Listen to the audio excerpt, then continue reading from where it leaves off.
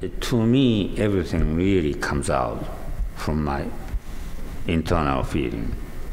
It's a direct contact between my feeling to what I want to do. What gave you the idea of all of these different shapes, like the tall and the short? You know, when you make a short piece, don't you wonder how it looks when, if it's taller? If everything else in the world is same size, we don't, e- we don't even know how to think about that's big and that's small.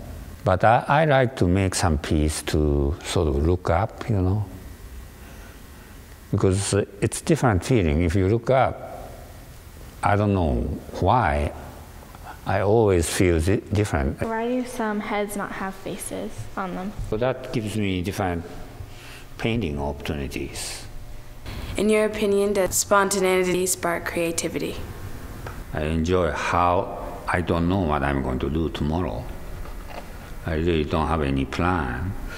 And then I, I'm interested in living with my idea and making it and then seeing it, looking back, and then how it, how it moves. That's, that may be why I'm interested in art.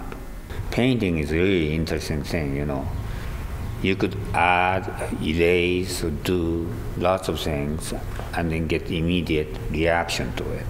Ceramics, you can't. You have to have an imagination how it looks in fi- at the fired stage. And then what you're seeing is not really what you're going to get. So this one is a completely different, you know, process. It really gives me add fantastic thing to my life to do art. I can't imagine doing anything else.